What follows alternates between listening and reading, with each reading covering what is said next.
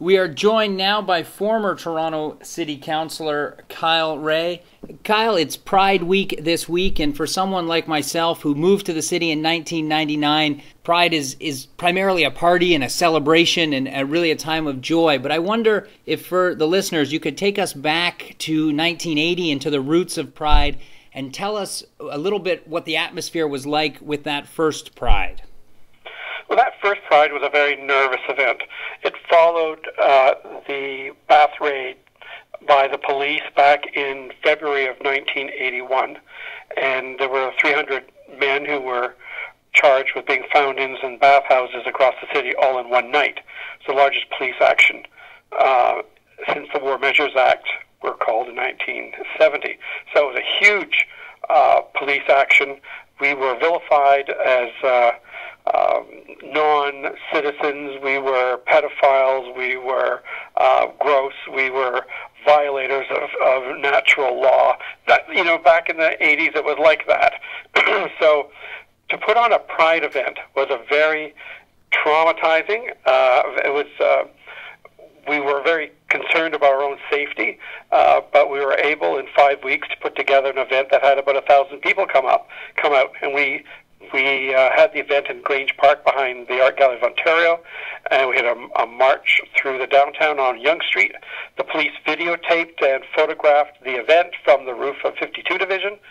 Um, the Sisters of Perpetual Indulgence uh, exorcised the 52 Division building. it was quite hilarious. Um, but there was in the back of everyone's mind, there was the anxiety of being photographed, of being seen, being identified, because this was in the middle of the day. Most gay events that had happened in the past happened in the evening, at night, when it was easy, easily easy to disappear into the darkness, and people couldn't photograph you. But this was in the broad daylight on a Sunday afternoon in June, and we had a wonderful event. Mind you, there, were, there was no one on the sidewalks watching us we were still hated. We were still vilified back then. And of course, the world has changed immensely since then. Hey, Kyle, uh, how many people, and I, have heard you speak about that before, how events used to take place maybe on Toronto Island or in the evening uh, to avoid that, that being photographed, being out. How many people, what a courageous event that must have been, that first march, you know, out and with the police photographing. How many people attended that first march? Well, the first, well, the first uh, event, probably about a thousand, fifteen hundred people, and there may have been about eight hundred people on the march through the downtown. And you know, some people wore wigs. Um, there were people who were very creative about how they presented. Because remember, after the bath raids, the police gave out to the to employers the name of the names of the people they arrested, and some people lost their jobs and lost their lives. And Kyle, just to bring us up to today, I mean, you, we've gone from police videotaping to our police chief, Chief Blair, marching in pride with people, and you were a huge part of that work with the police force. But also, for a long time, you were the only openly gay count, uh, city councilor here in Toronto. Tell us a little bit about just what that means to you to go to Pride as it is now, as this celebration that's sort of fully embraced by the community and the police chief is marching in it. How did we accomplish really that much change in what must have felt like a long time, but historically speaking, isn't all that long of a time? Well, you know, you're right. It isn't that long of a time, but, you know, there has been a generation or two that have passed since 1981. And then the new generation, as we've been seeing in articles about the gay village and uh, people being um, comfortable in the uh, queer community.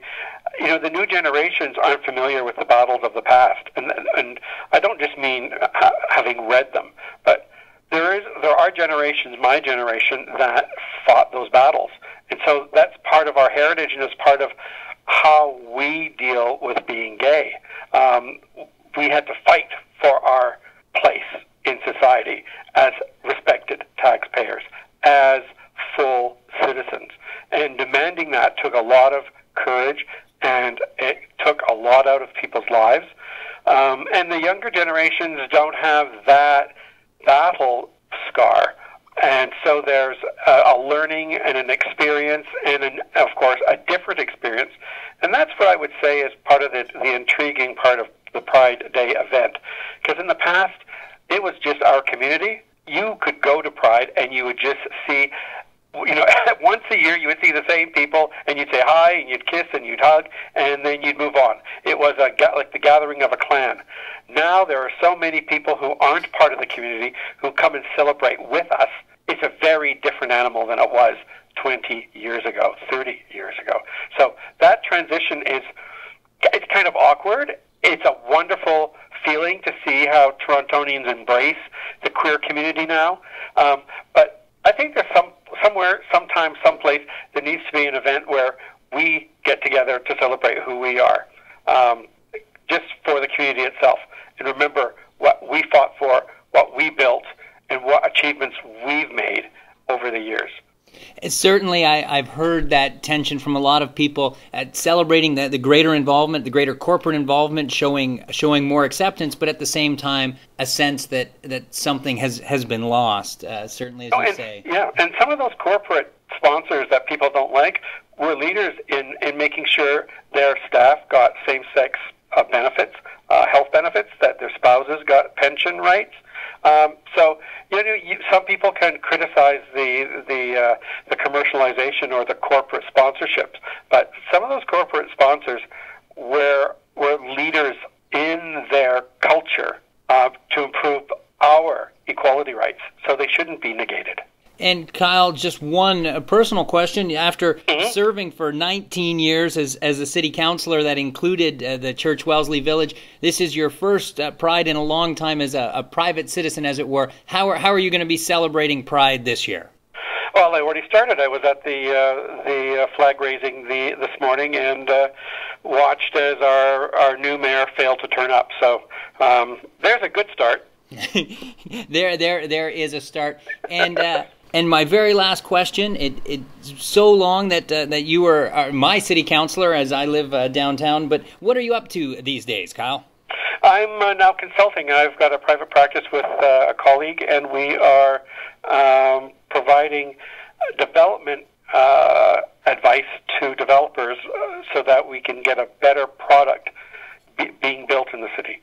Thank you so much for joining us, and thank you for giving us that window back to uh, to where this celebration has come from. I think that history is very important. You're welcome.